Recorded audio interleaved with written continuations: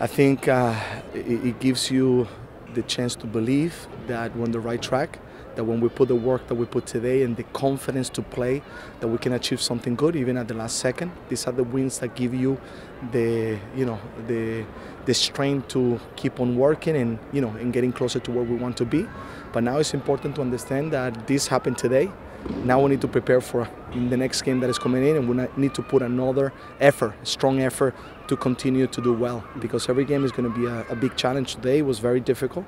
Kansas City is a good team. Peter's a good coach, and uh, we knew it was going to be tough. But I, I, I thought the guys played very well and you know, not only was the performance of you know the character, the, the, team played well today. We moved the ball well. We found good spaces. We created chances, and and we had the patience. I think most of the time to be able to try to find you know the right moment to go through. And unfortunately, it wasn't as clear some moments, but it was a, a good, very good performance. You changed the shape tonight. What was the idea behind that?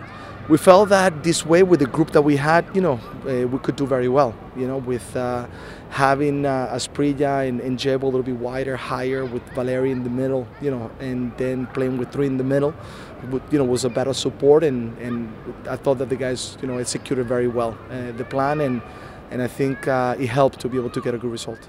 I think everybody saw how patient you were for that first hour of the game, but then the Feilhaber goal. What goes through your mind when you see a goal like that? Yeah, you know, it's disappointed because you go, oh, we're doing so well, and now, but there was a belief tonight that we could do the job, and, and, and the guys, you know, they, they didn't go down. They kept on fighting, they kept on going, they kept on showing. Actually, I thought that the intensity went even higher at that moment. So I'm very pleased, you know, to, to, to see the character of the team at that moment that they did really well. Mm-hmm. And defensively, you're down three central defenders right now. You're down two fullbacks. And over these last two games, that Feilhaber goal is the only goal you've allowed. What's your assessment of your defense's performance over these last 180 minutes? This is what we got. We said, you know, and uh, we had 10 players missing today. It's not little, it's a lot, but the guys came through. We spoke about it. You know, these are the moments that the team needs to show that uh, everyone can, you know, can go there and, and perform. And and Eric was one of them, and he did very well. So I'm very, very pleased with the performance of everybody today, and the guys that were on the bench ready to, to step in. And as I said, they, they practiced very well. They understood the plan. They executed, and this win at the last second, it, it was very important for us. And now the table looks a little different. You're on the other side of the line now. How important is that at this point of the season?